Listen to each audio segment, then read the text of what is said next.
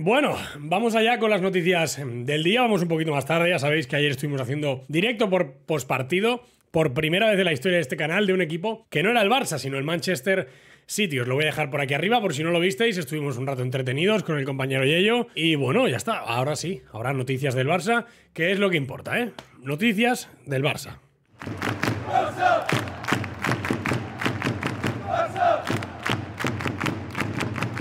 ¿Qué tal? ¿Cómo estáis? Espero que hayáis dormido bien, ¿eh?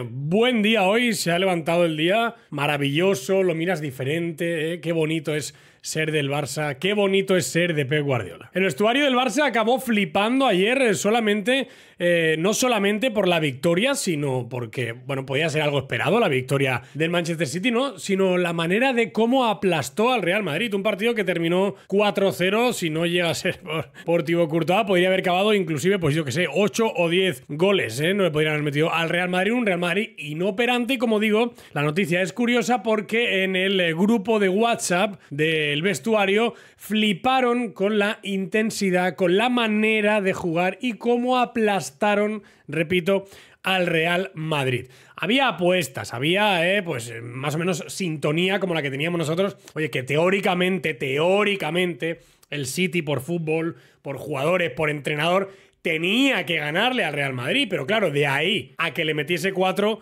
yo no sé quién se lo esperaba esto. O sea, yo, por ejemplo, personalmente, yo no me lo esperaba. Entonces, claro, llegó un momento en que cuando iban sucediendo los hechos y iban cayendo los goles, pues dentro de ese grupo, dentro de ese núcleo que conforma el vestuario, pues se oyeron frases como meneo, ¿eh? como qué buenos son, vaya veneo, vaya baño, que no se duchen esta noche. Algo absolutamente, absolutamente impresionante. Y también destacaron eh, que cuidado con el tema porque lo que le habían notado mucho al Real Madrid es falta de ideas, falta de ideas tácticas y mucha falta de juego. Algo que me respondió también a mí mucho, ¿no? O sea, yo estaba en casa y decía, que el Madrid realmente no tiene nada. O sea, cuando tienes un, rival delante trabajado tácticamente, con muchos recursos, como Pep Guardiola es el mejor entrenador de la historia, o sea, es que no, no hay otro, el Real Madrid no, no, no tenía nada más. Vinicius no existía porque estaba un buen entramado táctico para, para que no pudieses eh, aprovechar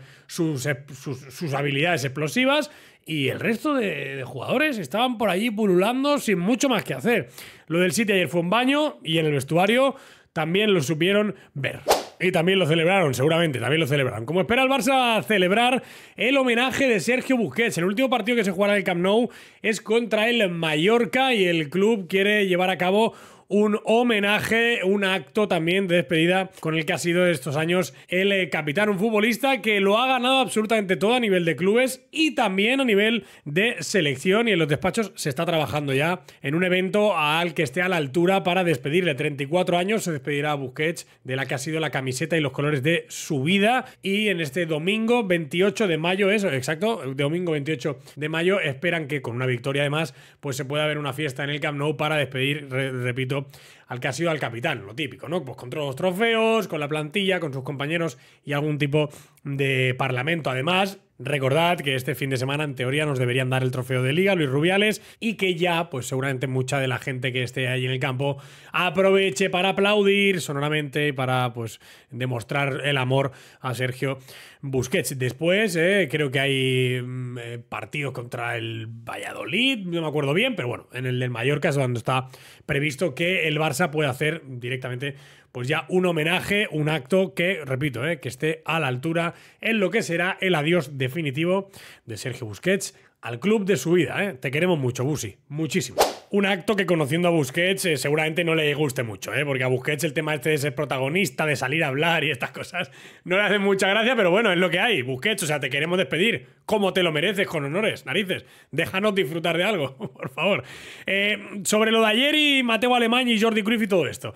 Mateo Alemán viajó a Birmingham, miró un poco el tema, se miró el proyecto con Unai Emery, se dio cuenta de muchas cosas, entre otras, que la oferta económica que estaba todo el mundo hablando, que se había filtrado porque parecía que iban por ahí los tiros, pues no era la esperada, no era la esperada, pero ni de lejos. Eh, Mateo Alemán no tiene un mal salario aquí en el Barça, tampoco es excesivamente alto para el trabajo que hace, que sabéis que, repito, es el director de fútbol, no es el director de fichaje ni director deportivo, que hay mucha gente que no se entera de esto. ¿eh? Mateo no es el que ficha, señores. Mateo es el que cierra negociaciones a nivel económico, el que regatea un poco el tío, el empresario, ¿eh? el que fichaba era Jordi Cruz. Bueno, pues en este sentido, ya lo puse aquí también de manera informativa en Twitter, Mateo Alemán viajó allá a Birmingham y la oferta era de 2 millones fijos más variables y en el Barça percibe más o menos un millón y medio. Se estaba hablando de 4 millones de lo que le daban allí en Aston Villa.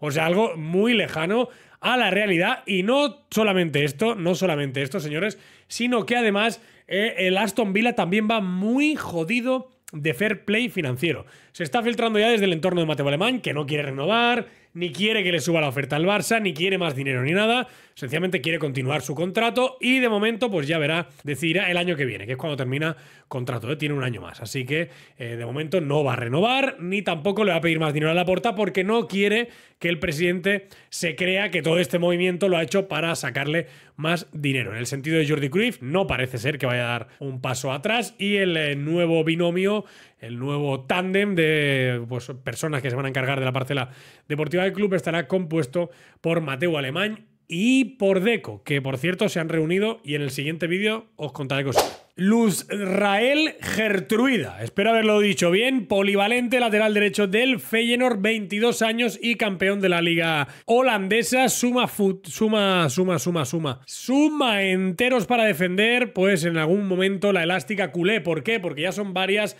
las voces en torno al Barça, que bueno, pues evidentemente controlamos bastante el tema del fútbol holandés y hay muy buenos informes del joven chaval. Además, el lateral derecho, una posición que en la que vamos bastante flacos, no quiere decir que lo vayan a fichar esta temporada, pero que sí ya lo tienen apuntado ahí como un futurible. ¿Por qué? Bueno, pues literalmente porque tiene un perfil de jugador que gusta mucho a Xavi y a los técnicos, porque Jules Koundé no quiere ser lateral derecho y sobre todo porque el chaval no es que solamente sea una bestia física, que es un pedazo de bicharraco físicamente, sino que tiene una capacidad táctica, una manera de entender el fútbol muy, muy llamativa para la edad que tiene, que son 22 años. 3.422 minutos, 39 compromisos y ha metido 3 goles y ha repartido 2 asistencias. El valor de mercado a día de hoy tiene contrato hasta 2025, oscila entre los 15 y los 18 millones de euros. Me parece una ganga absoluta. O sea que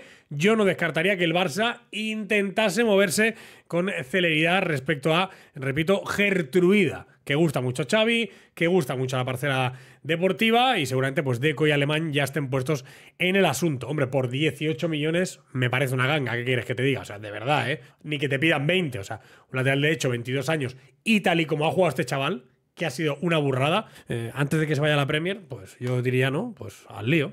¿Y qué piensas tú de todo lo que hemos aquí hablado? Aquí abajo, como siempre, te voy a estar leyendo. Déjame tus comentarios, que siempre intento contestar. Un fuerte like, que no te cuesta nada. A mí me ayudas un montón, te lo digo de verdad. Y suscríbete para no perderte nada de lo que vamos subiendo diariamente. Nos vemos en la segunda hora de noticias, ¿eh? Que va a ser un día intenso hoy. Otra vez, otra vez. Esta noche podcast, bueno, en fin. Nos vemos luego.